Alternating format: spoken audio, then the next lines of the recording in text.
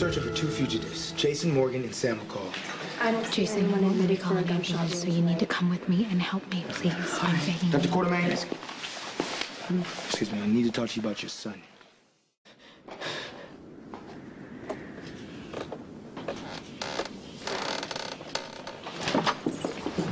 Jason. Jason. What's going on? No bullet. I went straight through. I think I need some stitches. Okay, I'll take care of it. I'll take care of it. Let's get him on the bed. Ah. Come on. Ah. It's all right. Oh, sweetheart. Easy. Just a little bit more. Come on. Come on. There you go. Easy, easy, easy. Thank you. Thank you for doing this. I am your mother, Jason. Of course I'm going to take care of you. No one followed us. I was careful, like you said. Sammy took he took a big risk. Yeah, well, I wasn't gonna let you die. From what I could tell, the internal damage is minimal. But he runs a very, very high risk of infection, and he should be in a hospital. I told him. Yeah, I know. Well, but he's strong and he's in good health, so with with medication and rest, he should recover. Well, he's passed out. I'm, I'm kind of glad he's passed out. He was in so much pain. I really thought he was gonna start to cry. Isn't it weird, though, how when someone you love is injured, you you want to take the pain away for them? You did just fine. You were very helpful. But you saved his life. And I will owe you forever for that. Not that my gratitude matters because he's your son and you love him and you would have saved his life anyway. So Yes. I don't know. Yes, he is my son, and I love him. And obviously, you do too.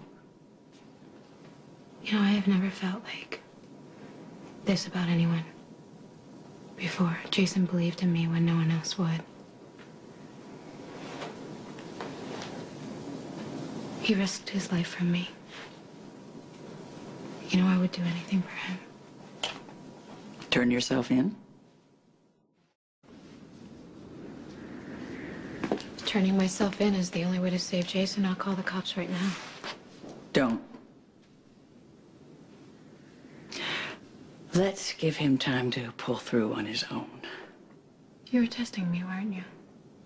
I'm trusting my son's life with you. I need to know if he would put his welfare ahead of yours. He's really lucky to have you as a mother. Jason can be a very difficult person. Cold and unfeeling on the outside, but truly devoted to those that he loves.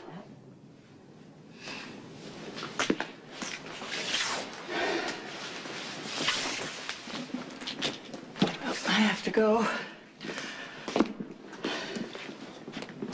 Make sure he takes one of these every four hours. Because if that one gets infected, he could be in a lot of trouble. Are you gonna come back and check? Oh, yeah. I'll be back tomorrow.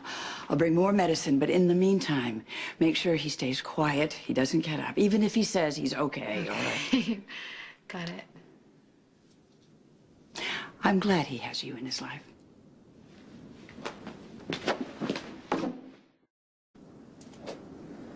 Sam. Hey. How do you feel?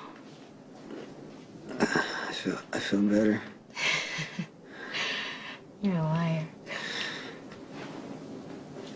We, we gotta get out of No, here. no, We no, get, no, no, no. Lay back. Your mother had to leave, but she said that you need to rest. And you need to listen to me, doctor's orders. Thank you. Jason, I love you so much.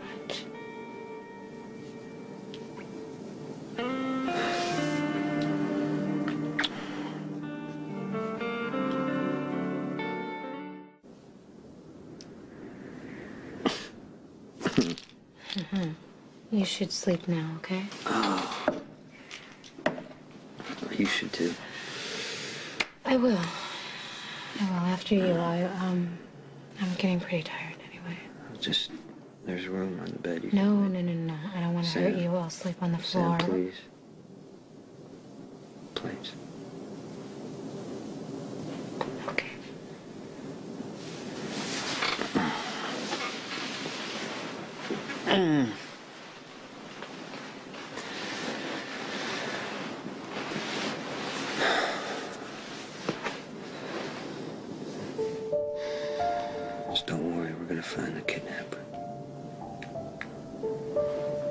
We're gonna start with Royal. See, he made contact with the kidnapper. And we'll go to his place. Try to find a lead. That gets us to the real kidnapper.